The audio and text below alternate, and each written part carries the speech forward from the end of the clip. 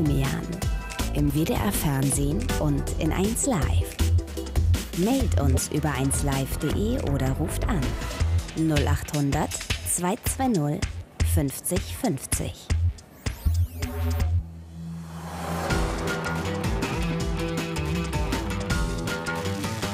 Eins live. Domian. So, liebe Leute, die Freitagnacht. Willkommen bei Domian, willkommen beim 1 Live Talk Radio. Schön, dass ihr da seid. Freitag, freie Themennacht.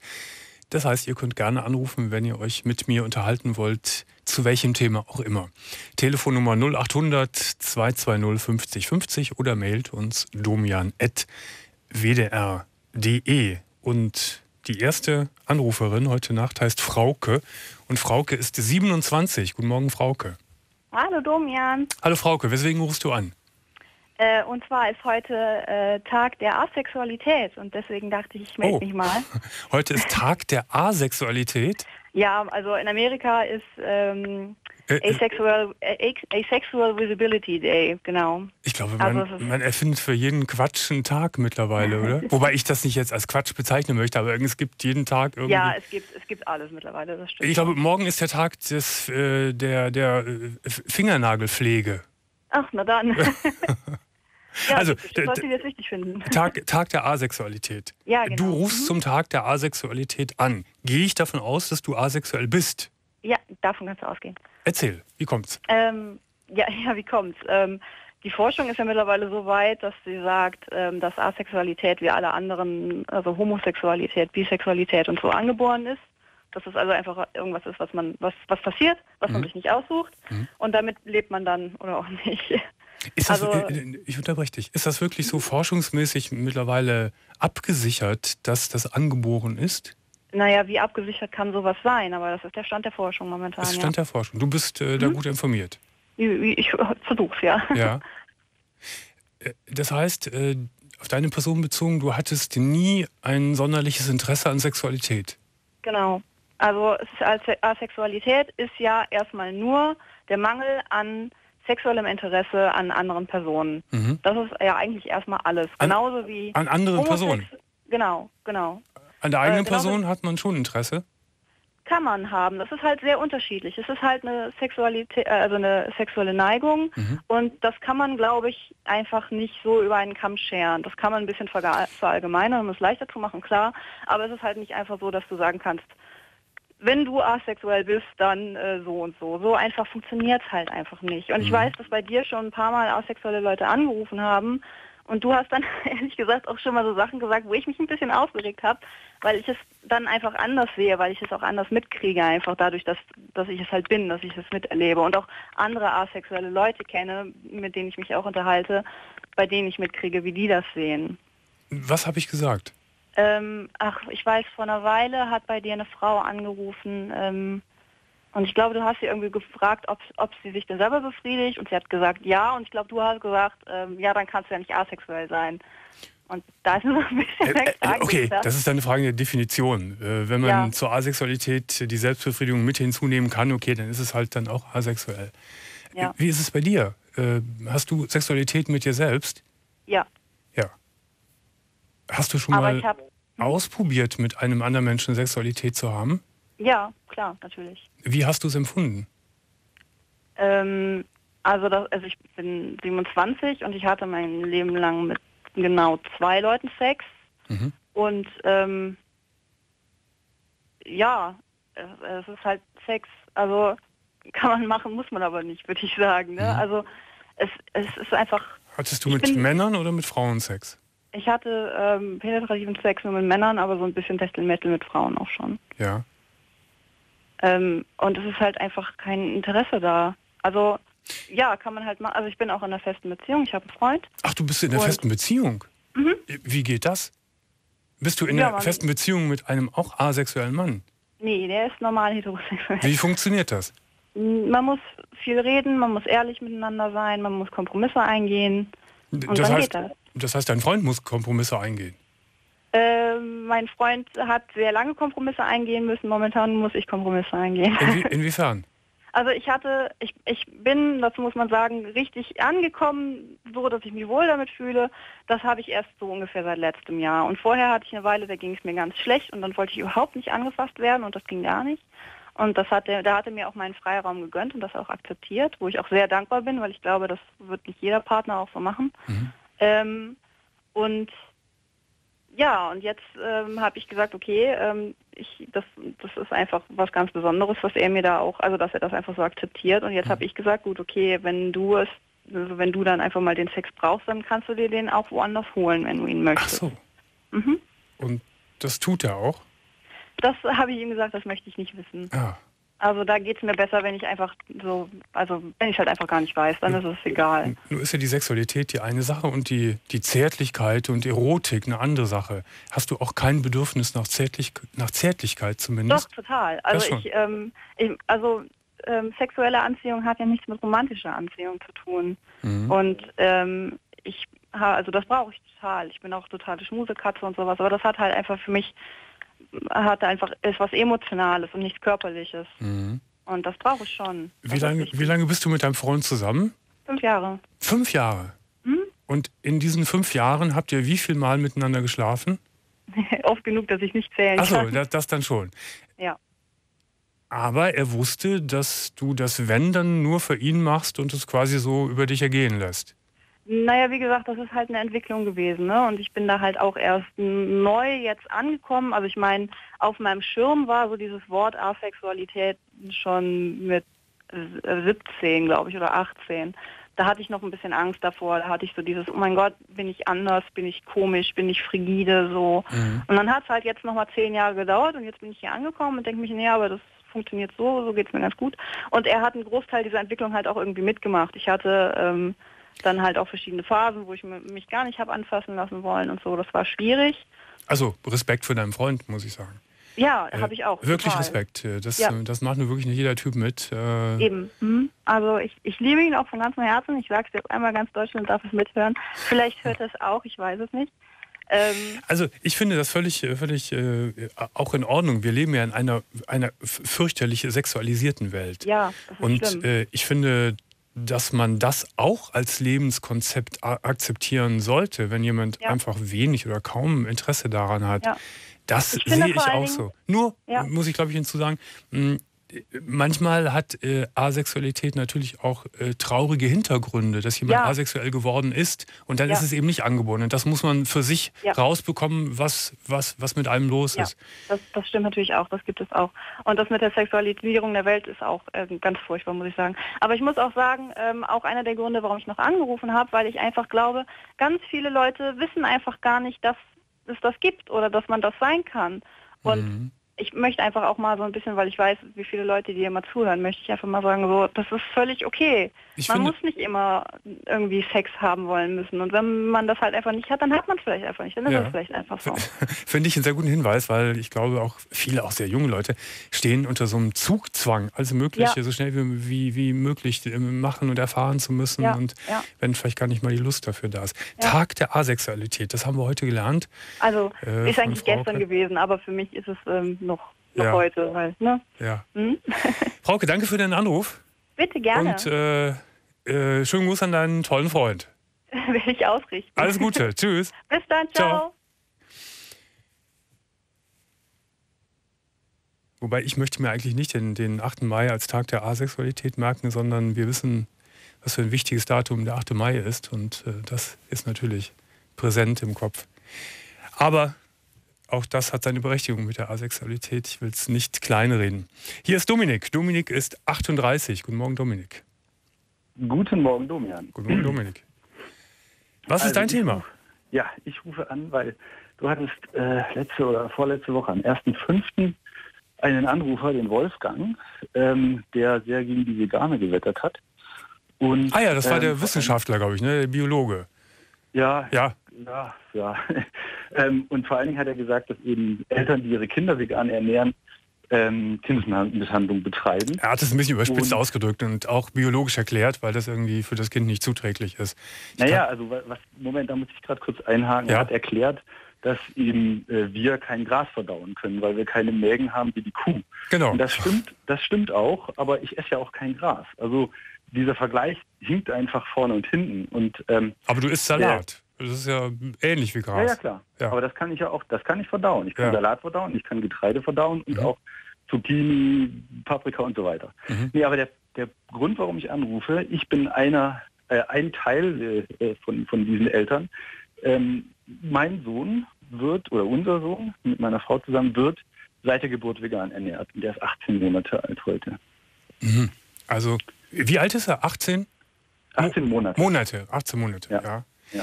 Äh, ich bin da in der, Meta in der Materie, was, was wirklich die, diese wissenschaftliche Analyse anbelangt, nicht äh, sehr versiert. Ich gehe mal davon aus, dass ihr als verantwortungsvolle Eltern euch da sehr schlau gemacht habt, ob ihr dem Kind keinen Schaden zufügt. Ja, sicher. Also wir sind davon überzeugt, dass wir das nicht tun, sonst würden wir es nicht machen. Also es ist, okay. ich kann mal kurz so ein bisschen Hintergrund. Meine Frau lebt seit 19 Jahren vegan. Mhm. Ähm, ich selber lebe seit acht Jahren vegan. Das heißt, wir haben mit der Materie schon uns viel beschäftigt. Wir, okay, aber ein Kleinkind ähm, ist ja dann noch wieder was ganz anderes, ein Säugling. Auf was muss man ja, da, ja, was, auf, auf, was muss man besonders äh, achten bei einem Säugling? Also man muss besonders darauf achten, dass eben ähm, die, die Ernährung ausgewogen ist, wie bei, wie, wie bei einem Erwachsenen auch. Äh, Erwachsenen auch. Naja, ausgewogen das heißt, ist ja eben nicht, weil ihr auf ganz, ganz, ganz viele Sachen verzichtet. Ja, ja, ähm, wir naja, gut, verzichten tun wir nicht. Ähm, unser Speiseplan ist aber, ich würde sagen, unser Speiseplan ist sehr viel vielfältiger als der durchschnittliche Speiseplan eines Deutschen, weil wir sehr viele Getreidesorten essen, die die Deutschen nicht kennen äh, mhm. oder auch nicht, nicht viel zu sich nehmen. Wir essen viel Quinoa, wir essen viel Buchweizen. Meine Frau backt das Brot frisch, ähm, also malt. Wir haben eine, eine, eine, Mühle in der Küche, eine, mhm. große Mühle, die sehr gut ähm, Getreide mahlen kann. Die backt das Brot frisch und im frischen Vollkornbrot ist auch noch äh, sehr viel mehr ähm, Vitamine drin, die eben in Aber, dem industriell hergestellt Ja, das glaube ich. Das klingt natürlich sehr, sehr, sehr interessant und schmeckt wahrscheinlich auch hervorragend, was ihr da macht. Ja. Aber selbst bei Erwachsenen muss man doch, soweit ich informiert bin, äh, künstlich etwas zuführen, wenn man rein vegan lebt. Stimmt das? Ja, es gibt, es, naja gut, die Wissenschaft ist, ist, sich da noch nicht so ganz sicher. Es gibt eine Sache, das ist das B12. Mhm. Ähm, das kommt eben, wird in dem Darm von Säugetieren hergestellt, also auch in dem Darm von Menschen. Ähm, der Mensch kann es aber an dem Punkt nicht mehr aufnehmen. Es ist aber bisher noch nicht geklärt, ob wirklich B12, ähm, äh, ob da ein Mangel entsteht oder nicht. Ähm, aber B12-Mangel ist sehr gravierend, deswegen führen wir B12 in unsere Ernährung zu, also meine Frau und ich, mhm. und auch äh, unser Sohn kriegt auch B12. Also durch äh, Vitamintabletten? Ja, das sind so, das sind so kleine, ja, so, so Nuggets, die man sich unter die Zunge legt Ach so, einmal die ja, Woche ja. und dann hat man eben genügend Pizza. Aber Dominik, noch, noch mal die Frage bezogen auf den Säugling. Äh, auf was muss man da als Eltern besonders achten, wenn man einen Säugling vegan ernährt? Also B12 muss man ihm zuführen, das hast du jetzt gerade schon gesagt. Was, ja, was würde ich auf jeden Fall zu raten, äh, weil eben so ein Mangel, das sind Nervenschäden, die da entstehen, so ein Mangel halt äh, irreparabel und, und gravierend. Das möchte man nicht machen. Also der Säugling ähm, kriegt keine Milch? Ähm, der kriegt, der kriegt so wie wir auch Pflanzenmilch. Also es gibt ja Pflanzenmilch, die wir zu, zu uns nehmen, also mhm. zum Beispiel Hafer. Ähm, Sojamilch. Sojamilch geben wir ihm noch nicht, könnten wir, aber ähm, Soja ist, es hat so ein, ähm, äh, da, ist, da sind Stoffe drin, die sind so ähnlich wie ähm, Hormone und deswegen können die so, so, einen kleinen Körper durcheinander bringen. Okay. Man sagt aber ab dem ersten Jahr ist es okay, wir geben aber trotzdem noch keine Sojamilch, mhm. was einfach nicht notwendig ist. Ich trinke sowieso auch am liebsten Hafermilch, deswegen kriegt er davon ja. eben äh, was ab, wenn ich was trinke. Auf was muss man ähm, noch weiter achten bei dem Kleinen? Naja, also es sind ja so diese üblichen Verdächtigen, ne? Calcium, Zink ähm, und auch äh, Vitamin D.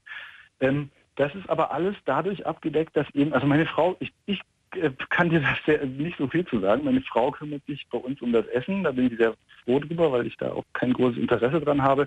Und sie kocht sehr ausgewogen. Das heißt, sie weiß auch, ähm, wir müssen mal wieder Bohnen essen, weil da das und das drin ist. Er kriegt mhm. auch, ähm, wenn er jetzt, es kriegt oft einfach nur trockene Nudeln mit, ähm, ähm, also mit Hefe, Hefeflocken und mhm. Leinöl. Der Arme, das, klingt ja sehr trostlos. Trockene Nudeln mit, mit Bierflocken. Äh, oder, äh, nein, nein, Hefe. Hefeflocken, Entschuldigung, nicht kein, Bierflocken. Ja, ja. Die Hefeflocken enthalten eben sehr viele B-Vitamine ja, und Leinöl hat dann eben ich glaube, das ist äh, Omega-3 und so ein Zeugs. Das, das klingt ja trostlos, aber er liebt das. Also er kriegt, er, er kann gerne auch ähm, unsere, also er kriegt auch von unseren, äh, von unserer Soße was ab, aber er mag eigentlich lieber diese mhm. Nudeln haben. Also, ihr seid verantwortungsbewusste ja. Eltern und achtet ja. genau drauf, deine Frau vor allen Dingen, wie du es gerade schon gesagt hast, dass der Kleine so, so vielfältig wie möglich ernährt wird und es gibt dann einige Sachen, die ihr ihm zusätzlich äh, äh, zubereitet oder ihm, ihm verabreicht. Genau. Und es funktioniert. Es funktioniert und vor allen Dingen ist es halt, also was ich halt, was mich stört, ist diese, diese, diese Meinung, dass das nicht geht. Es geht, man muss natürlich schon äh, ausgewogen sich ernähren, aber ich bin der Meinung, das müsste jedes Kind. Also Dominik, wenn der Kleine, sagen wir mal so 14, 15 ist und ja. der sagt, Papa, es geht mir so auf den Keks, dein ganzes ja. veganer Gedriss, ich will jetzt Hamburger essen gehen. Was sagst du ihm? Ja. Äh, ich sage ihm, kannst du machen, aber nicht von meinem Geld. Also wenn er Taschengeld kriegt, kann ja. er das gerne in, in, in, alles Mögliche stecken, was er haben möchte, aber er kriegt von mir äh, das Geld nicht, also er kriegt von mir auf keinen Fall einen Hamburger gekauft. Mhm. Und er darf das auch nicht zu Hause essen. Oh, da wird aber schon. Also er darf es nicht mehr zu Hause essen. Auch wenn er es sich naja, redlich verdient hat von seinem, von seinem äh, Taschengeld, wenn er, wenn er irgendwo gejobbt hat. Er darf es nicht zu Hause ja. essen. Ja, für mich ist das, ist das ein sehr respektloses Verhalten. Und ähm, bei den meisten Menschen oder bei allen Menschen, mit denen ich zu tun habe, die nicht vegan sind, abstrahiere ich das weg. Aber wenn ich jetzt mein eigener Sohn vor mir sitzt und das zu sich nimmt, dann ist das für mich schon so eine Art Beleidigung. Und deswegen aber das sollte ist, er das. Ist ja schon sehr ideologisch, Mensch. Das ist aber weit naja, weg von der, freien, von der freien Entfaltung, von der freien Welt. Könnte man nicht sagen, okay, wenn das will, dann soll das machen? Man kann ihn ja ähm, aufklären ähm, und äh, wenn er es für sich entscheidet. Ja, Nein, nein, ich bin immer noch, also in dem Moment bin ich ja immer noch der Erziehungsberechtigte und ich bestimme, was für das Kind am wichtigsten ist und so, am besten ist. Ich gebe ihm, der alte Moment, Spruch von früher, solange du die Beine unter meinen Tisch setzt, wird hier so gehandelt, wie ich es will. Das haben früher die Väter ja, auch das gesagt. Machen doch, das machen doch alle. Sie geben dem Kind auch keine Drogen, wenn es die möchte. Sie geben dem Kind auch, Kinder nehmen auf dem Spielplatz, wenn da Zigarettenkippen liegen, nehmen die in den Mund. Das okay. verbiete ich ihm auch. Aber eine Droge und, in Hamburg ist ja vielleicht doch was anderes.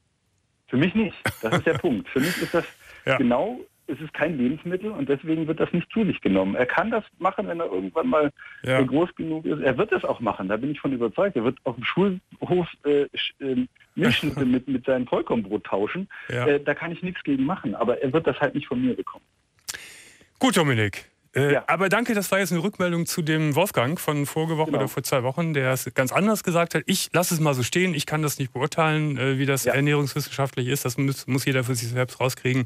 Aber ja. du hast deine Meinung gesagt und ihr beiden lebt gut davon und hoffen wir, dass dem Kleinen das auch äh, gut tut und es ihm nicht schadet.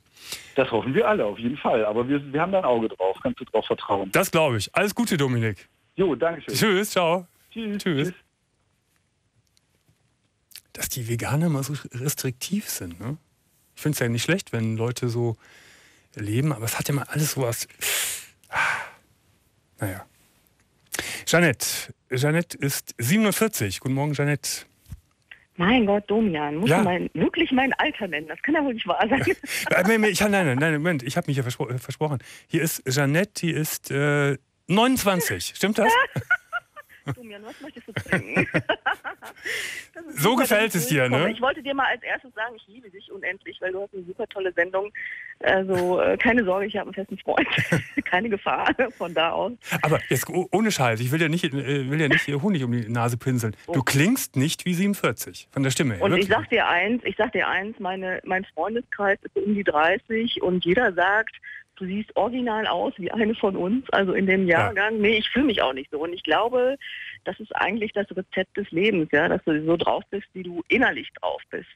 Denke ich wirklich. Das ist, äh, das ist einfach. Das aber, ist Ding, aber, ja. aber, das funktioniert nicht immer. Es gibt Leute, die innerlich wirklich sehr jugend, jugendlich noch sind, aber ziemlich verrunzelt schon aussehen. Immer funktioniert es ja. auch nicht. Ja. Ja, wo kommt das her? Ja, weiß ich auch aber, nicht. Nein, ich glaube wirklich, das hat was mit der inneren, inneren Einstellung ab. Aber es ist ja auch nicht so schlimm, wenn man etwas, etwas runzliger aussieht. So ist halt das Leben.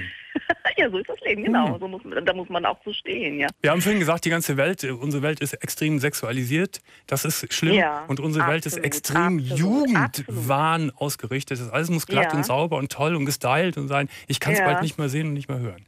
Aber darüber wollen wir gar nicht reden. Du hast ein anderes Völlig Thema. overfloated. Ja, genau.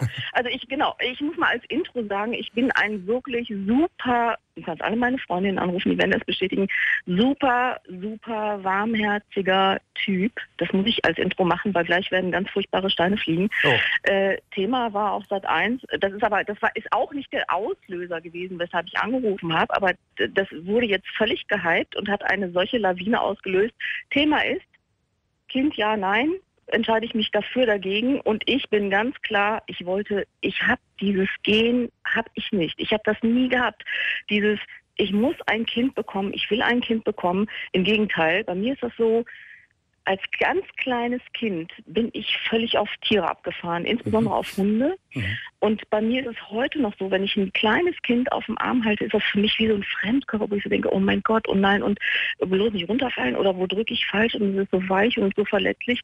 Und wenn ich, und dann bin ich eigentlich eher froh, aber nicht wirklich im negativen Sinne, wenn ich es dann wieder abgebe. Und beim Welpen ist es völlig anders. Da platzt mein Herz. Und äh, wo ich so, ich habe, ich muss ganz schnell noch sagen, ja ich habe immer schwierige Fälle mit Emil. Mit Emil? Mit, äh, mit Emil, ja, schwierige Fälle. Dobermänner, die wirklich völlig hochbissig waren, mhm. die sich bei mir zum Regenwurm entwickeln. Irgendwie habe ich da so ein, weiß ich nicht, ein Händchen für. Und, ähm, also daraus schließe ich, dass du auch nie ein Kind bekommen hast.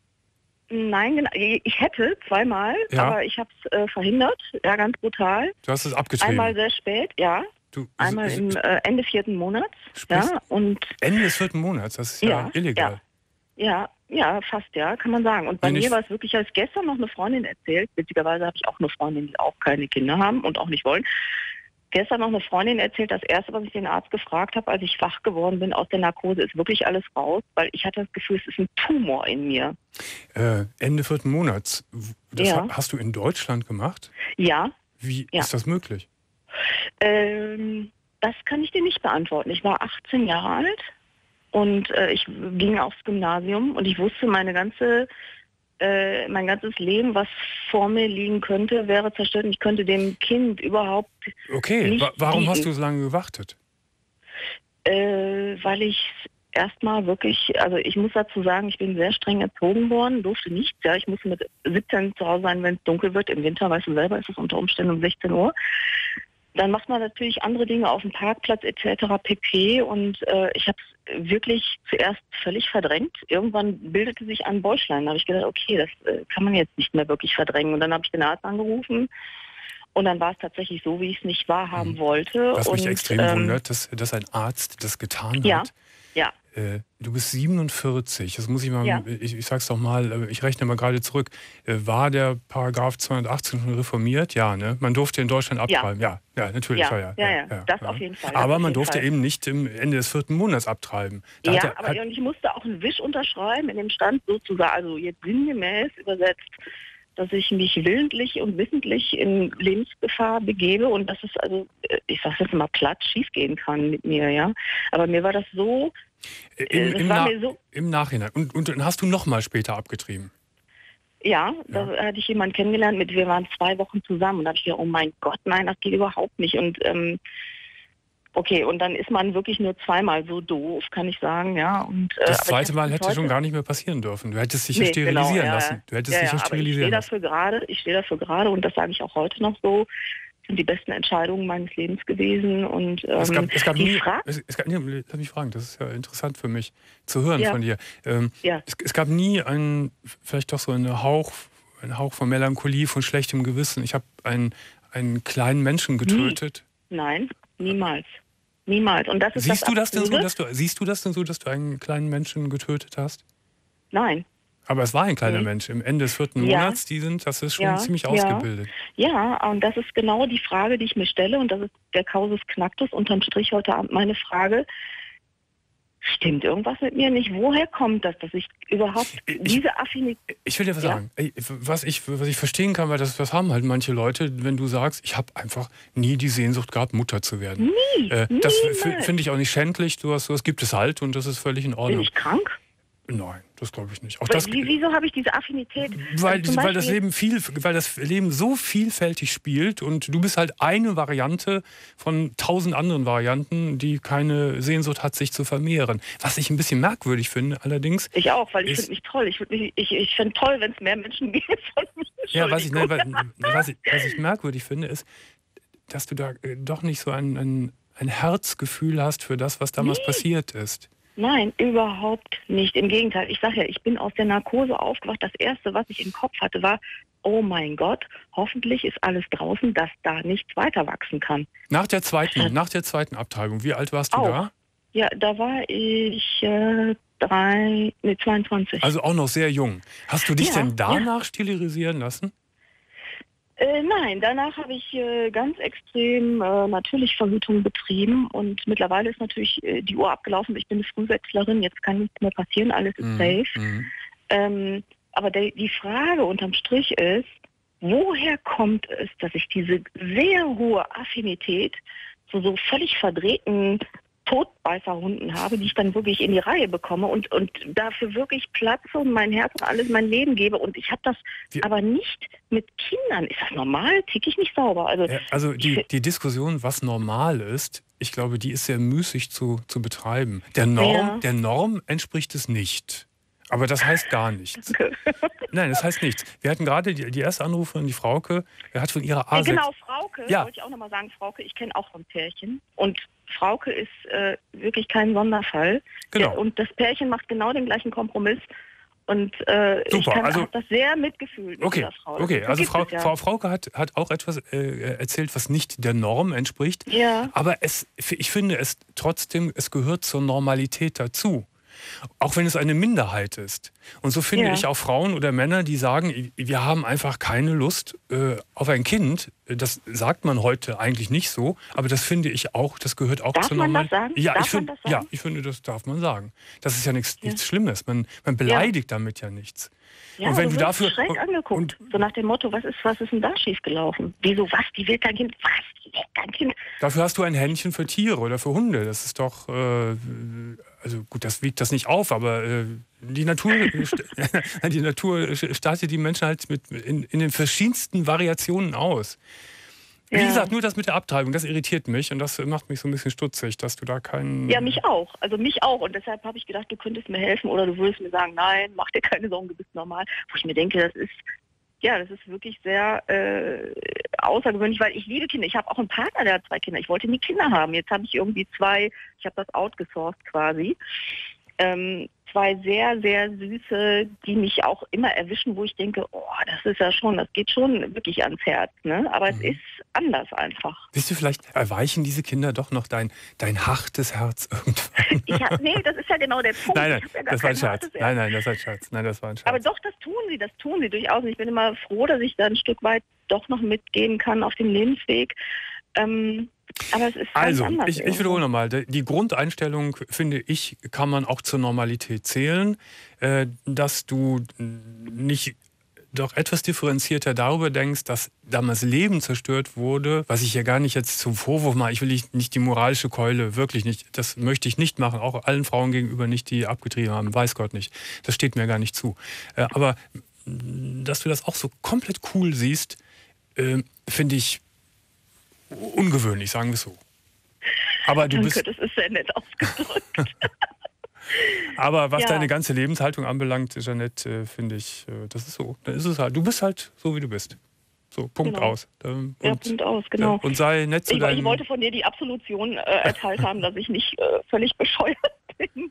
Nein, aber äh, wo ich mir wirklich, ich, ich stelle mir wirklich manchmal die Frage, dass ich denke, was ist denn bei mir irgendwie so schiefgelaufen, dass mhm. es irgendwie nicht dem deutschen Standard entspricht. Ich muss hier Kinder bekommen. Also das ist irgendwie, ich weiß es nicht. Also es, ist, das war aber schon immer so. Weißt du, ich kann mich nicht erinnern. Ich habe nicht ja. einen, also meine Freundinnen, die auch kinderlos sind, haben Zeiten hinter sich, wo sie sehr, sehr drunter gelitten haben. Und auch das habe ich überhaupt nicht verstanden. Ich habe gedacht, freut euch doch. Jeanette, ich glaube, wir haben ja. alles ausgetauscht. Okay. Ich freue mich, dich kennengelernt zu haben und wünsche alles Gute und äh, vielleicht ändert sich die Meinung noch ein bisschen, je mehr Kinder um dich herum äh, sich scharen. Alles Gute okay, wünsche ich. Ich, ich. ich, wünsche dir auch alles Dankeschön. Bis dann. Tschüss. Ciao. Ciao. So, und jetzt äh, höre ich gerade, dass wir per Skype jemanden hier haben. Aber ich weiß nicht, wer es ist. Hallo? Hallo? Saline. Hallo, hier ist die Sabine. Sabine, Sabine. Sabine, Entschuldige. Ja, hallo. Sabine. Guten Morgen, Domian. Guten Morgen. Äh, wie alt bist du? Ich bin 33. 33. Äh, Skype, mhm. halt, wenn wir skypen, heißt das irgendwie, die Menschen müssen in der fernen, in sehr fernen Welten sein. Wo bist du? Ja, ja, das stimmt. Ich bin gerade in Japan. Ach, gut, ja, das ist nicht um die Ecke. Mhm. Ich, ich, bin immer erstaunt über die gute Tonqualität. Äh, das, das, klingt besser als manch ein Handy hier aus äh, Wanne Eickel, also oder Herne. du bist in Japan. Ja, was, was machst du? Ja, genau. Wir müssen nur so eine kleine, eine kleine Pause machen, bevor das dann ankommt, äh, was wir gesagt haben. Okay. So. Äh, was machst du in Japan? Ja, ich habe vor ein paar Monaten ähm, alles stehen und liegen gelassen in Deutschland, habe alles verkauft und mache jetzt quasi eine kleine Weltreise und Japan ist mein erster Stopp und ich stelle hier Süßigkeiten her. Äh, du machst eine Weltreise und stellst zwischendurch in Japan mal irgendwie so locker floppig, äh, flockig Süßigkeiten her. Wie, wie geht das? Ähm, das Problem war, ich bin ja 33 und ich kriege kein Work-and-Travel-Visum mehr, also musste ich eine andere Form des Reisens finden. Und ich bin jetzt als Touristin unterwegs und arbeite quasi für Unterkunft und Essen. Ach so, du arbeitest für Unterkunft und Essen und, und stellst dann Süßigkeiten her. Ja, ich bin hier auf einer Farm, äh, ganz ländlich in Japan, sehr traditionell alles. Und ähm, die haben sich hier darauf spezialisiert, aus den äh, Produkten, die auf der Farm angebaut werden, Süßigkeiten zu machen. Ah. Und das sind halt so Gebäcksüßigkeiten. Schmecken die? Oh, die sind super lecker. Ich ja. kann dir gern was schicken. ja, wahrscheinlich sind die vertrocknet, bis die hier ankommen. Ich kann mir gar nichts darunter vorstellen, wie, wie japanische Süßigkeiten schmecken. Beschreib sie mal, wie sie, wie, wie sie aussehen und beschreib mal, wie sie schmecken. Äh, der Witz ist, es sind keine japanischen Süßigkeiten, es sind französische und Engl äh, italienische Rezepte und dann verkaufen wir eben noch getrocknete Früchte von der Farm. So. Das ist ähm, ja aus Biskuit und süßer Milch und äh, Butter, Zucker. Und ja. Äh, wie, äh, wie viele Stunden am Tag arbeitest du? Ich arbeite fünf Stunden am Tag. Das geht und ja. Und fünf noch. Tage die Woche. Ja. Und, ja, ich habe hier viel Freizeit. Äh, wie ist das mit der Unterkunft? Wo wohnst du? Ich wohne mit anderen Helfern in einem Gästehaus äh, neben dem Haupthaus der Familie. Das ist so ein ganz traditionelles japanisches Haus, wie man es aus Filmen kennt, mit so Schiebetüren und Tatami-Matten und Futons auf dem Boden. Und Wasser, warmes Wasser haben wir nur, wenn die Sonne scheint. Also es ist alles sehr, sehr einfach, aber sehr schön.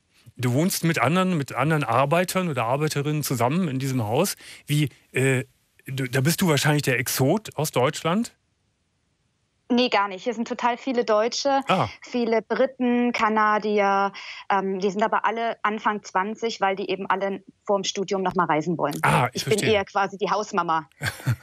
Wie ist die Stimmung dort?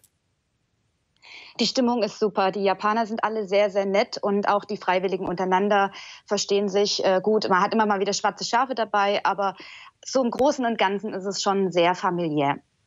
Du hast gesagt, es gibt nur Wasser, warmes Wasser, wenn, wenn die Sonne scheint. Ja. Wie ist das mit, das der, wie ist das mit der Toilette? Gibt es eine Toilette? Im Haupthaus, im Haupthaus haben wir eine ganz traditionelle Toilette, das ist ein Loch im Boden. Mhm. Aber im Gästehaus haben wir so eine schöne japanische Toilette, die alles kann, von äh, Bidet über Vogelgezwitscher bis hin zu warmer Klobrille beim Sitzen und äh, die spült von alleine, die öffnet den Deckel von alleine. Und wahrscheinlich. Das ist alles sehr luxuriös. Und wahrscheinlich auch mit einer, mit einer Dusche von unten, ne? Das haben die Japaner ja gerne. Ja, genau. Ja. Äh, wieso hast du jetzt als, als äh, Reiseziel, dieses Reiseziel jetzt Japan gewählt? Ähm, ich hatte mehrere Länder noch auf meiner Liste, die ich unbedingt besuchen wollte. Und Japan steht schon seit über 20 Jahren ganz, ganz oben, weil einfach die Kultur mich sehr interessiert. Mhm. Ähm, dieses, äh, dieses traditionelle Japan, aber auch das moderne Japan. Ich finde das alles sehr spannend. Nun ist das ja eine, gro eine, große Entscheidung. Du bist 33 Jahre alt, du hast deine Zelte hier abgebrochen. Ähm, was hast du hier beruflich gemacht in Deutschland? Ich war Sozialarbeiterin beim Jugendamt. Ja. Ich habe aber, ich hab aber nur ein Aus, äh, ja, eine Auszeit genommen, ein Jahr. Ich kann nach dem einen Jahr wieder zurück in meinen Beruf. Äh, wie kam es denn überhaupt zu dieser Entscheidung, äh, zu sagen, ich, ich gehe jetzt in die Welt? Das ist ja auch nicht so einfach entschieden. Ja, das war, hm, das war mehr oder weniger fast sogar spontan. Ich ähm, arbeite, seitdem ich 18 bin, immer mit Kindern und Jugendlichen und habe auch mein Studium, meine Ausbildung, alles immer durchgezogen. Und dann die letzten Jahre, so als es, als sich nichts mehr getan hat privat, außer der Arbeit, ähm, habe ich so überlegt, ja, wie könnte es weitergehen? Was steht für mich noch an? Oder äh, was sind so Dinge, die mir noch wichtig sind, die ich gerne noch erleben würde? Mhm. Und dann hatte ich ein Jobangebot aus Italien. Mhm. Das hatte sich dann aber zerschlagen. Aber das war der Grund, warum ich dieses Auslandsjahr beantragt habe bei meinem Arbeitgeber. Und dann, als ich das mit dem Jobangebot in Italien zerschlagen hatte, habe ich spontan gesagt, okay, dann mache ich eben eine Weltreise. Das ist ja wirklich ganz toll. Äh, warst du äh, in einer Beziehung hier in Deutschland? Nein, das war auch einer der Gründe. Ich hatte im Grunde privat, ich habe keine Kinder, keine Beziehung, nichts, was mich in Deutschland jetzt gehalten hätte. Mhm. Und deswegen habe ich gesagt, wenn ich es jetzt nicht mache, wann dann? Das finde ich wirklich eine sehr gute Entscheidung. Ich finde auch, dass, äh, dass so zur Lebensreifung äh, das Reisen dazugehört. Und ich finde, jeder müsste, muss mal auch immer wieder oder immer wieder mal auch alleine auf Reisen sein, äh, um auch diese Erfahrungen zu machen weil diese Erfahrungen bringen mhm. einen einfach in der Weltsicht äh, und in der Lebenssicht weiter. Wie lange planst du noch in Japan zu bleiben? Ich bin jetzt noch bis Ende Mai in Japan und dann geht es für mich weiter nach Island und dann stehen noch ganz viele andere Länder auf dem Programm, wo ich auch schon Jobs, Jobs habe. Island ist nun auch eine Region, die mich sehr interessiert. Was wirst du in Island machen? In Island bin ich bei einer Familie mit drei Kindern, die noch ein Gästehaus haben. Und dort werde ich in dem Gästehaus mit bei der Hotelarbeit helfen, mich aber auch um die drei Kinder kümmern. Mhm. Ja, und dann werde ich ja auch viel Freizeit haben, um eben Island zu entdecken, weil das ist auch ein wunderschönes Land, glaube ich. Da hast du natürlich den, den absoluten Kontrast von Japan nach Island. Das sind ja, ja. komplette gegensätzliche Welten. Aber du organisierst. Ja, ja? Ich komme von 30 Grad in 15 Grad. Genau, ganz genau. Ähm, mhm. Ich höre gerade, dass wir äh, Fotos von dir haben. Mhm. Äh, ah, da sehe ich eine Frau äh, in einem Kimono. Bist du das? Ja, das bin ich. Das bist du. Ja. Äh, ich kann das jetzt ja. hier auf meinem Monitor nicht so ganz genau sehen. Das sieht aus wie, du siehst wie eine japanische Frau aus. Äh, mhm. und hast so einen, äh, ja, so ein Kimono an, weiß, mit, mit so einem rötlich-goldenen Gürtel um den Bauch. Ne? So kann man das sagen. Ja. Äh, das ist ein ganz traditioneller Kimono. Das war ein, ein, Foto für als Geisha. Man konnte da sich einen Tag lang als Geisha verkleiden und wurde so. dann auch fotografiert. Ach so, ich wollte gerade sagen. Es war ganz interessant, mal sowas zu tragen. Ich verstehe. Ich wollte nämlich fragen, so wirst du doch bestimmt nicht die Süßigkeiten herstellen. Nee, ganz und gar nicht, nein. Ah, und da ist das ganz normale Foto. Eine junge Frau mit langen Haaren, mit fröhlichem Gesichtsausdruck, einer Brille. Äh, und das bist du dann in, in, in echt sozusagen. Ja, das bin ich Natura. Ja. Äh, das ist aber immer so, wenn, wenn du die nächsten Etappen planst, dass du dich vorher schlau machst, wo kann ich äh, wohnen, wo kann ich arbeiten, um dann so auch unterzukommen. Ganz genau. Ich habe das schon alles im Januar geplant. Also bis Ende Dezember steht der Plan schon, wann ich wo bin und was ich dann da zu tun habe. Und äh, für das andere halbe Jahr bis April 2016 muss ich das halt noch machen. Äh, wie macht man das? Wo, wie kriegt man jetzt raus, dass man in Island in einer Familie das und das, wie du es gerade beschrieben hast, dann machen kann? Wie, wie kriegt man das raus?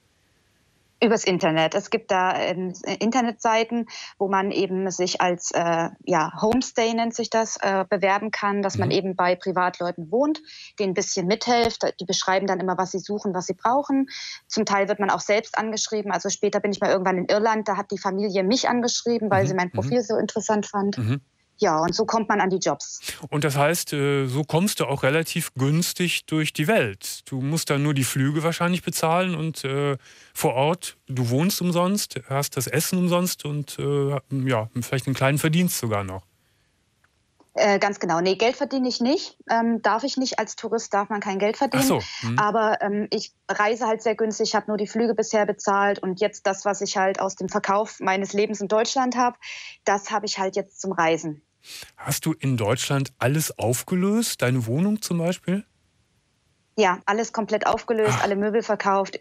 Ich habe nur noch ein paar Kartons äh, im Keller von einem Freund stehen, aber ansonsten habe ich alles aufgegeben. Und wenn ich zurückgehe im April und wieder meinen Job anfange, muss ich komplett von Null anfangen. Das stelle ich mir toll vor, wenn man irgendwie alles, alles von sich loslässt und äh, plötzlich nur noch einen Koffer hat und sagt, jetzt gehe ich in die Welt. Finde ich ja, in der Vorstellung ein tolles Gefühl das ist auch super. Vor allem ähm, kriegt man auch mal mit, was sein Leben alles wert ist, mhm. ähm, was man wirklich braucht, was genau, wichtig ist. Was man braucht. Ja. Endlich habe ich ich habe nur noch einen kleinen Keller, wo mein, mein Zeug drin steht, was ich eben nicht verkaufen wollte, wo ein paar Klamotten drin liegen. Und das ist im, im Grunde alles, was ich im Leben brauche. Hm. Ja, und man braucht kaum was. Hm. Ja. Sabine, das war sehr interessant mit dir. Äh, wie spät ist es denn jetzt eigentlich da, wo du bist? Es ist gerade 8.39 Uhr. Also morgens. Genau, und ich höre dich immer, wenn ich arbeite, wenn du auf Sendung gehst, fängt meine Arbeit hier gerade an und dann höre ich immer Domian oder wenn ich es nicht hören kann, dann höre ich es nachmittags beim Joggen. Und du kannst das während der Arbeit hören, ist das möglich? Ja, manchmal schon. Wenn ich Süßigkeiten verpacke zum Beispiel, dann kann ich mir das Radio anmachen und dann läuft halt der 1-Livestream. Ich verstehe. Und deswegen hat Deswegen habe ich auch deiner Redaktion eine E-Mail geschrieben, weil ich dachte, wenn ich dich schon auf die Weltreise mitnehme, dann möchte ich dir zumindest auch zeigen, wo du gerade bist. das ist wirklich sehr nett. Äh, das ist eine tolle Vorstellung, äh, jetzt hier zu sitzen und eine Sendung zu machen und im fernen Japan äh, sieht bzw. hört man uns. Liebe Sabine, ich wünsche dir alles Gute, tolle Eindrücke noch und tolle Reiseerfahrungen und auf das du viel an, an, an Erkenntnissen mitbringen wirst nach Deutschland und für dein weiteres Leben. Ja, vielen Dank. Alles Gute, tschüss. Danke, tschüss. Ciao. So, meine Lieben, ich möchte euch gerne unser Thema vorstellen, was wir nächste Woche machen werden. In der Nacht von Mittwoch auf Donnerstag heißt unser Thema Ich bin froh, dass du tot bist. Ich möchte gerne mit äh, Leuten sprechen, die jemanden derart hassen, oder gehasst haben, dass sie froh sind, dass diese Person tot ist. Also hat euch diese Person vielleicht schlimme Gewalt angetan, hat diese Person gemordet, hat diese Person auf irgendeine andere schlimme Weise euer Leben zerstört, sodass ihr sagt, ich bin froh, dass du tot, sodass ihr sagt, äh, ich bin froh, dass ihr tot, dass äh, du tot bist. Ähm, man kann das Thema natürlich auch noch äh, etwas, etwas anders sehen. Äh, vielleicht in dem Sinne, dass ihr sagt, ich bin erleichtert, dass jemand gestorben ist, weil es gut für ihn war, weil er zu sehr gelitten hat. Und habt ihr vielleicht sogar jemanden, äh, jemandem beim Sterben geholfen? Wenn ihr gerne mit mir darüber sprechen wollt nächste Woche, dann meldet euch per Mail domian.wdr.de oder ruft nächste Woche Mittwoch vor der Sendung, während der Sendung an. Ich bin froh, dass du tot bist. Ich bin froh, dass ihr alle lebt und hier bei uns seid und äh, freue mich jetzt auch auf den Marco. Und Marco ist 25. Guten Morgen, Marco. Guten Morgen, Jürgen. Guten Morgen, Marco. Du rufst aber nicht aus der Fernwelt an, sondern aus Germany. Gelsenkirchen. Aus wo? Ja, richtig. Ja, aus, aus Gelsenkirchen. Aus Gelsenkirchen, na gut, das ist ja gar nicht so ja. weit weg. Ja. Ma Marco, um was geht's? Ähm, und zwar bin ich seit ähm, 2013 obdachlos. Seit 2013 bist du obdachlos? Ja, zwei Jahre. Äh, wo bist du jetzt gerade, während wir telefonieren? Also jetzt gerade bin ich ähm, auf dem Weg zu meinem besten Kollege Florian in der Schönrisser Markt. Ja. Ja, und ähm, der nimmt mich freundlicherweise auf, dass ich da ein paar Tage schlafen kann. Und Ja. wo schläfst du in der Regel? In der Regel meistens bei meinem kleinen Bruder oder bei meinem Freund oder meistens auch im Zelt. Ach so, das mal so, mal so, aber eben auch öfter Mal so, draußen, mal so. draußen und Richtig. dann im, im Zelt. Wo steht das Zelt? Das, das Zelt steht dann am, am Kanal. Ach, ein Kanal bei euch in der Stadt. Richtig. Ist das erlaubt? Ähm, ich habe keine Ahnung. Also das sieht aus wie so ein Zeltplatz mit ähm, kleinen Feuerdingen dran. Also ich weiß nicht, ob das jetzt legal ist. Ich Ja. habe keinen Plan. Ähm, seit 2013 und du bist 25 Ja. Jahre alt. Wie kam es, dass du vor zwei Jahren äh, obdachlos geworden bist? Ja, ich hatte eine Freundin gehabt. So, man hat sich jeden Tag gesehen, also man war jeden Tag bei ihr und dann hat man seine eigene Wohnung vernachlässigt, nicht nach Post geguckt. Ja, und da war dann halt ein sehr wichtiger Brief drin vom Arbeitsamt wegen der Weiterbewilligungsantrags, dass ich in der Ausbildung mir weiterhin meine Miete bezahlen. Ja, und das habe ich nicht gemacht. Also bin ich quasi selber dran schuld. Ach, du hast es verdaddelt, kann man sagen. Ich habe es verdasselt, ja. Warst du, warst du dann zu der Zeit arbeitslos oder wie? Ähm, zu der Zeit habe ich bei ähm, Teddy gearbeitet. Habe ich da einen 400-Euro-Job gemacht. Ja. Und danach hast du den Job auch verloren. Ähm, nee, da habe ich dann einen anderen Job bekommen, bei Backwerk. Ja, und da Aber dann dann hättest du dir doch eine neue Wohnung suchen können wieder. Ja, das war das Problem. Ich habe ja Mietschulden. Und mit Mietschulden, da sieht das so schlecht aus mit einer neuen Wohnung. So. ich, Wie hoch, sind die, wie hoch sind die Mietschulden? Ähm, ich ich glaube 1,5. Na gut, das ist ja auch nicht jetzt so die Riesenmasse. Das ist ja, müsste ja irgendwie zu bewältigen ja, aber als, sein. Arbeitslo als, ähm, ne, ja, ist mir schon klar, ja klar. Aber es ja. ist jetzt nicht so eine Zahl, die einen total erschlägt, wenn du jetzt 10.000 gesagt hättest oder so. Ja, das ist natürlich noch viel schlimmer. Ähm, ja.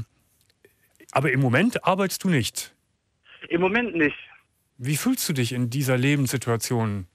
Aber ganz ehrlich, Domian, richtig beschissen. Ja, das kann ich mir vorstellen. Also äh, wenn ich es mal irgendwann mal geschafft habe, wieder auf beiden Füßen zu stehen, ich glaube, ich werde mal so ein Buch rausbringen, wie das Leben so ist, wenn man obdachlos ist. Was, weiß ich nicht, da kommt man immer so... Erzähl uns mal ein bisschen, wie das Leben so ist, wenn man obdachlos ist. Boah, wo soll ich denn da anfangen? Vor allen Dingen, wenn man nachts auf der Straße ist, man sieht da komische Gestalten, da kriegt man ja schon Panik. Mhm. Weil man, ja, Angst, weil man immer Angst hat, überfallen zu werden?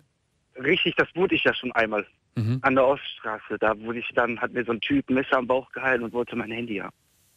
Ja, ich wollte gerade sagen, naja, viel, viel ist bei dir ja nicht zu holen. Ein guten Handy hast du noch. Ja. Wie finanzierst du, wie finanzierst du das? Ähm, das ist, ähm, das habe ich mir so gekauft. Das hat äh, meine, meine Mutter hat mir noch ein bisschen Geld dazu gegeben, dass mhm. ich mir dann dieses Handy leisten kann. Ja, und dann, ja, von meinem Arbeitslosengeld bezahle ich, da hole ich mir dann so eine Flatrate. Ja. Dann kann ich dann damit einen Monat lang dann Verstehe. gratis telefonieren. Äh, wie, wie verlaufen so die Tage? Was machst du denn den lieben langen Tag? Ja, ich gucke in der Zeitung, ich rufe bei Wohnungen an, stelle mich davor. Sobald ich erwähne, dass ich Mietschulen habe, weil ich bin ja ehrlicher Junge. Mhm. Ja, und dann sagen die mir, mm, ja, mit Mietschulen, mm, das sehen wir nicht so gerne. Also, mhm. ähm, wir können die Wohnung nicht haben. Mm. Aber da, ist ja super, aber ich, das, das deprimiert einen. Das kann ich mir vorstellen. Äh, wie, wie, wie, bemühst du dich denn um Arbeit? Ähm, ja, ich frage Leute, bei denen ich arbeiten kann. Wahrscheinlich ist ja, das so, ja so, eine tragische Verkettung. Äh, die, die, wo du arbeiten möchtest, erfahren, dass du, dass du obdachlos bist, macht es keinen ja, guten ist, Eindruck. Das, ist, das, macht doch keinen guten genau. Eindruck. Genau, wenn du äh, eine Wohnung haben willst, hast du Mietschulden und hast keine Arbeit, macht auch wieder keinen guten Eindruck. Also steckst nee. du da in einem Dilemma. Da stecke ich echt ein Dilemma. Hast du dich ja, denn mal richtig, ordentlich, ausführlich beraten lassen? Auf dem Bei der Caritas habe ich mich beraten lassen. Da habe ich ja auch mit ähm, Wohnungen geguckt, die sagen auch, ich soll zum Sozialamt gehen. Mhm. Und das werde ich jetzt auch die Tage dann mal in Angriff nehmen. Ja. Das solltest auch, es kann natürlich sein, dass, dass die, die eine Stelle dich zur anderen verschiebt. Ja. Aber es kann natürlich auch sein, dass irgendwann mal ein guter Tipp dabei ist. Ich würde an deiner Stelle auch alles nutzen, was du an Tipps bekommst und, und Möglichkeiten, damit du aus diesem das Teufelskreis, das ist ja ein Teufelskreis, ja, in den du hängst. Das ist auch ein Teufelskreis. Wenn ich mir manche Leute da angucke bei der Caritas, da denke ich mir auch, oh Junge, such dir schnell eine Wohnung, sonst, du, sonst endest du genauso und so möchtest du nicht enden. Mhm. Was hast du denn für eine, für eine Schulausbildung oder eine Ausbildung vielleicht? Ich ähm, bin ein Verkaufshelfer. Hast du, äh, gibt es da einen Abschluss? Ja, einen Hauptschulabschluss nach Klasse 10. Also, das habe ich gerade ja. nicht. Du hast einen Hauptschulabschluss und hast auch eine Lehre gemacht? Nee. Nee, ich habe ähm, in der Lehre meinen Hauptschulabschluss gemacht. Achso, aber immerhin Haupt den Hauptschulabschluss hast du in der Tasche. Den habe ich in der Tasche. Das heißt, wenn alles so gut in die Gänge käme, wäre es ja auch nicht das Falscheste, wenn du noch eine Ausbildung machen würdest. Ja, ich möchte ja gerne eine Weiterbildung machen. So ich gehört habe, kann ich ein Jahr an meine Ausbildung dranhängen, mhm. dass ich dann Einzelhandelskaufmann werden kann, genau. dass ich dann ein bisschen höher im Leben komme. Ja. Weil ich möchte schon was erreichen im Leben. Ja, jetzt bin ich ja aus Versehen ähm, obdachlos mhm. geworden, aus eigener Dummheit. Mhm. Ja, und ich hoffe, dass ich das jetzt meine Tage. Du hast gerade von deiner Mutter gesprochen. Besteht denn nicht die Möglichkeit, dass du äh, bei deiner Mutter oder bei deinen Eltern eine Weile wohnen kannst? Ja, ich habe nur noch meine Mutter. Mein Vater ist ähm, früh verstorben, da war ich acht, neun Jahre alt. Mhm. Und du kannst. Ja, ich habe ich hab, Anfangszeit habe ich aber meine Mutter so ein bisschen ein paar Monate gelebt, sodass ich über den Winter so mäßig komme. Mhm. Dass ich nicht im, im Zelt schlafen muss. Mhm. Ja. Dann hätte ich das wahrscheinlich überlebt. ja. Also Marco, das tut mir wirklich leid. Äh, das, das, da muss man gar nicht drüber reden. Das ist eine Scheißsituation, in der du da drin hängst. Und äh, ich, ich, wünsche dir wirklich von ganzem Herzen, dass bald irgendein kluger Typ, der von irgendeiner Caritas oder weiß ich, im Sozialamt dir, ja. dir, äh, dir, etwas in die Hände gibt und sagt, so und so hier ja. machen sie es. Äh, ja, das wünsche ich mir. wir werden dich jetzt aber auch nochmal zurückrufen. Vielleicht haben wir auch noch irgendeine Idee, wohin du dich wenden kannst. Ja, äh, das wäre echt super. Ja, ich merke, dass du, dass du, du willst ja. Du bist ja nicht faul oder irgendwie. Nee, da, da bin ich absolut nicht. Ich ja. möchte wieder mit beiden Füßen im Leben stehen. Was ist dein Traum, sagen wir mal so, in fünf Jahren? Was sollte in fünf Jahren sein? In fünf Jahren möchte ich eine wunderhübsche Freundin haben, hm. die an meiner Seite ist und eine schöne Wohnung und Auto, ja, und Kinder. Ne? Ja gut, das sind viele Wünsche. M mögen, mögen sie alle in Erfüllung gehen. Danke, das hoffe ich auch. Marco. Und ich wünsche dir auch noch viel Erfolg in deinem Leben, da ich ja gehört habe, dass du aufhörst. Ich danke dir sehr herzlich, sehr freundlich von dir. Ja, sehr freundlich, Marco. Klar. Aber du legst auf und wir melden uns gleich nochmal bei dir. Alles klar, mache ich. Okay, tschüss. Ciao. Tschüss. Ah, die Tür kommt auf, kommt auf. Die Tür geht auf und mein Redakteur Christian Wunderlich kommt rein mit, mit Reaktionen auf, ah, vegan. Alles vegan? Gucken wir mal, was, was, was hier alles so geschrieben wird. Also Reaktionen heute auf die Sendung. Fangen wir an mit dem, mit dem äh, Anrufer Dominik zum Thema Vegan. Eine kleine Anmerkung, Anekdote zum Thema vegane Ernährung der eigenen Kinder. Ich selbst habe mich beinahe die Hälfte meines Lebens ohne tierische Produkte ernährt. Von meinem 9. bis zum 22. Lebensjahr. Jetzt bin ich 26 Jahre, schreibt hier der Schreiber. Gina ist das. Ich bin also nicht voreingenommen. In meiner Schulklasse gab es einen Jungen, der von seinen Eltern von Anfang an vegan ernährt wurde. Er aß ausgewogen, soweit das eben möglich ist. Trotzdem war er ständig krank, müde und generell eher schwach. Während der Pubertät durfte er dem Sportunterricht fernbleiben, da er sich wiederholt Frakturen zuzog aufgrund seiner empfindlichen Knochen. Ursache war die rein pflanzliche Ernährung während der Wachstumsphase. Noch mit 19 war besagter Junge mit Abstand der kleinste. Das schreibt äh, Gina oder Gina, äh, die dann dieser veganen Kindesernährung gegenüber offensichtlich sehr kritisch eingestellt ist. Dann äh, zur Anruferin Jeannette, beziehungsweise zum Thema gewollte Kinderlosigkeit schreibt Anja, hallo Domian, ich finde die Dame mit den beiden Abtreibungen nicht unnormal, auch dass sie nichts empfindet deswegen. Ich habe das hinter mir, allerdings äh, keine Spätabtreibung, aber ich bereue ebenfalls nichts. Mir geht es wie ihr, Tiere ja, Kinder nein, danke. Bei mir sind es Katzen. Ich weine um jedes Katzentier, äh, das in spanischen Tötungsstationen sterben muss. Äh, der Tod eines Kindes jedoch lässt mich irgendwie kalt. Es ist mir egal. Jetzt muss ich gerade schon ein bisschen stottern äh, aufgrund dieser Formulierung. Also ich weine um jedes Katzentier, das in spanischen Tötungsstationen sterben muss. Der Tod eines Kindes jedoch lässt mich irgendwie kalt. Es ist mir egal. Mit freundlichen Grüßen, Anja. Das finde ich krass, muss ich sagen. Also bei allem Respekt, äh, wenn man keine Kinder haben will, müssen wir gar nicht darüber diskutieren. Das ist jedermanns Sache. Aber dass ein der Tod eines Kindes kalt lässt, das verstehe ich nun wirklich nicht mehr. Da ist dann die Grenze meiner Toleranz auch überschritten. So, ihr Lieben, jetzt machen wir weiter mit, mit, mit, mit, mit wem? Mit Patrick. Patrick ist 25. Guten Morgen, Patrick. Hallo, guten Morgen. Patrick, um was geht's bei dir? Ähm, und zwar war ich ähm, mit 21, ich bin jetzt 25 Jahre alt, beim Kardiologen gewesen, weil ich äh, Beschwerden hatte in der Brust. Mhm weil ich habe halt Übergewicht und habe gedacht, ich gehe mal lieber hin, einmal zu viel als einmal zu wenig. Ja. Und war dann halt dort, er hat Belastungs-EKG gemacht und ähm, Ultraschall und meinte dann zu mir im Sprechzimmer, als ich dann mit ihm geredet habe über die Ergebnisse, dass ich einen Herzmuskelschaden habe und eine Herzschwäche. Mhm. Und wenn ich Glück hätte, würde ich noch 27 Jahre alt werden. Was? Und, das hat äh, er gesagt? Das hat er mir so gesagt.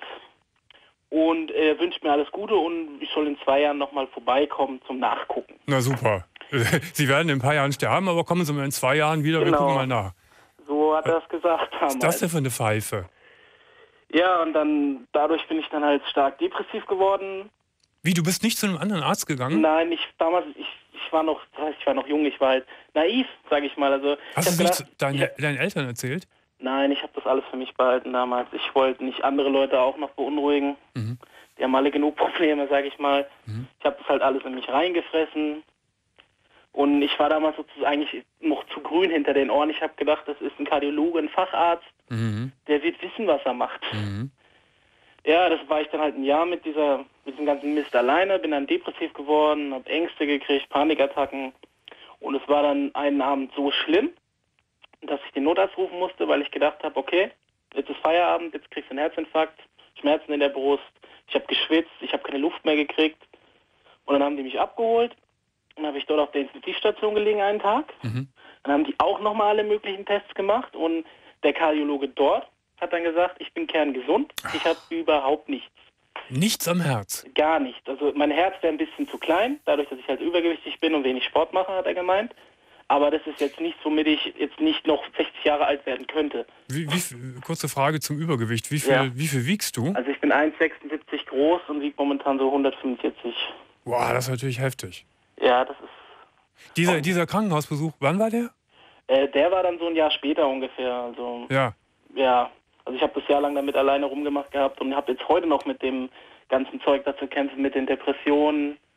Äh, kann man sagen, dass diese Depressionen wirklich ausgelöst wurden äh, durch diese Nachricht von dem ersten Kardiologen? Ja. Mhm. Also davor war ich lebensfroh. Ich habe alles in der Hand gehabt. Also wie viel, wie viel hast du denn damals gewogen? Als damals war ich bei 160. Mhm. Also damals war es noch schlimmer. Mhm. So, wie ist die Situation jetzt heute? Das also momentan bin ich in Therapie. Mhm. Natürlich, also jetzt seit einem halben Jahr ungefähr. Ich mache eine Verhaltenstherapie, um diese Todesangst rauszukriegen. Die ist nach wie vor da? Die ist nach wie vor da. Also auch die Panikattacken sind noch da. Ich schrecke manchmal nachts im Schlaf hoch und hocke dann eine halbe Stunde da und bin am Zittern. Mhm. Und ein enge Gefühl in der Brust, aber eigentlich ist da nichts da. Mhm. Und da also, hilft dann die rationale Erkenntnis, da ist ja. nichts, hilft dann auch nicht. Äh, hilft dann aber erst so nach einer halben Stunde bis dreiviertel Stunde. Ja, ja, ja. Kriege ich mich dann beruhigt. Also mein Therapeut, mein Verhaltenstherapeut sagt vegetatives Nervensystem und das kommt vom, vom kann, es kommt von den Nerven, das fängt ja im Kopf an und und und. Er hat mir das halt alles erklärt. Mhm. Und ich muss halt dann versuchen, in den Momenten ruhig zu bleiben. Aber da, da kann man mal sehen, was ein, ein, ein Satz, ein unbedachter oder ein falscher Satz von einem Arzt anrichten kann. Ja. Das ist ungeheuerlich. Ja, ich meine, also ich mein, das ist ja nicht nur irgendein Satz, das ist ja äh, ein, eine ganz, eine ganz äh, schlimme Feststellung, die er da getroffen hat. Ja. Selbst wenn er es so gemeint, wenn er es wirklich so geglaubt hat, mhm. darf er dich doch dann nicht einfach weggehen lassen und er darf nicht sagen, sie werden höchstens 27 Jahre alt. Ja, das denke ich im Nachhinein auch. Ich hätte vielleicht auch was machen sollen gegen den. Aber also er hätte dir zumindest irgendwas vorschlagen müssen an Therapien oder an Verhaltensweise, irgendwas, aber einfach so kommen sie mal in zwei Jahren wieder. Ja, richtig. Er hat mir auch keine Medikamente gegeben gehabt, nichts. Unfassbar also. ist das. Unfassbar. Der gehört also, ja wirklich angezeigt. Also, ja, ich habe im Nachhinein bereue ich es auch wirklich, nichts gemacht zu haben gegen den. Aber es hat mich damals so, boah, das hat mir den Boden unter den Füßen mhm. weggerissen damals. So, jetzt ist das passiert vor vier ja. Jahren. Ja. Äh, das ist jetzt nicht mehr äh, rückholbar oder veränderbar. Das ja. ist nun mal passiert. Jetzt musst du sehen, dass du, dass du jetzt das, das Beste aus deinem Leben machst. Du, du bist ja schon dabei. Du machst eine, du machst eine Gesprächstherapie, Verhaltenstherapie. Genau, ja. Äh, bin, bin auch beim Psychiater. Mhm. Das heißt, du nimmst Medikamente ein auch? Genau, ich nehme momentan äh, Cipralex. Ja, okay, das ist ein, das ist ein Antidepressiva. Genau. Ja. Auch soll auch gegen die Ängste helfen, hat mein Therapeut gemeint. Und so, und da musst du natürlich auch äh, das Übergewicht angehen. Richtig, das mache ich ja auch momentan. Also volles Programm im Moment. Voll, ja, ich bin momentan, also ja, voll belastet, sage ich mal so. Dann noch arbeiten. Was arbeitest du? Ich bin im Büro angestellt, also so eine Bürokraft, nichts Großartiges momentan, ist auch nicht ganztags. Okay, aber da, das heißt, du sitzt da auch viel und. Äh, ja, genau, das ist auch das Problem. Ich habe äh, Bürokaufmann gelernt mhm. und das kommt auch noch dazu. Das heißt, du musst auch noch so ein, so ein Gegensportprogramm musst du dir ja. entwickeln und so weiter. Ja. Aber ich glaube, das ist alles lösbar und das äh, kannst ja. du schaffen. Und, und, du bist ja, äh, also äh, Kompliment und Respekt, du nimmst ja dein Leben jetzt in die Hand, das ist ja gut. Ja, ich habe vielleicht ein bisschen zu lange gewartet. Gut, manch, manchmal ja. wartet man zu lange, aber du machst es jetzt, darauf kommt es an. Ja. Und Ziel, hast du Ziele, so äh, sagen wir mal zwei Jahren, in zwei Jahren? Ja, ich habe, also ich will jetzt erstmal auf jeden Fall in den nächsten zwei Jahren unter die 100 Kilo kommen. Mhm. Also das muss sein. Mhm. Ich will, das hat ja auch was mit Lebensqualität zu tun. Mhm. Absolut. Ja, dann ähm, will ich endlich meinen eigenen Führerschein machen. Mhm. Ich habe keinen Führerschein. Mhm. Das ist auch noch, weil das damals dann kam und ich will einfach mein Leben in die Hand nehmen können und einfach sagen können, einfach mit einem Lachen in die Zukunft blicken können. Das ist ein schöner Satz, Patrick. Das wünsche ich dir von ganzem Herzen, dass du es schaffst. Ich bin guter Dinge, wirklich. Ist jetzt kein blöder Spruch am Ende, ja. aufgrund des Eindrucks, den ich von dir habe, dass du das auch schaffen wirst. Ja. Ich habe wirklich ehrlich den Eindruck, du musst jetzt nur eisern und zäh sein und wenn es auch mal ein paar Rückfälle gibt, Rückschritte, ja. dann weiter nach vorne, immer nach vorne gucken, immer weitergehen und dann wirst du es schaffen. Mach ich. Alles Gute, toll, okay, toll, toll. Dankeschön. Tschüss, ciao. Tschüss. So, ihr Lieben, das war's für heute und für diese Woche. In der Technik heute Martin Dannhauser und nochmal unser Thema, Hinweis auf unser Thema am Mittwoch. Das Thema heißt, ich bin froh, dass du tot bist. Und ich möchte mit Leuten sprechen, die jemanden derart hassen, dass sie sagen, ich bin froh, dass du tot bist. Ich wünsche euch ein schönes Wochenende, ein sonniges Wochenende. Es soll nett werden am, am Sonntag und wir sehen und hören uns wieder in der Nacht von Montag auf Dienstag in der freien Themennacht. Bye bye. Bis dahin. Ciao.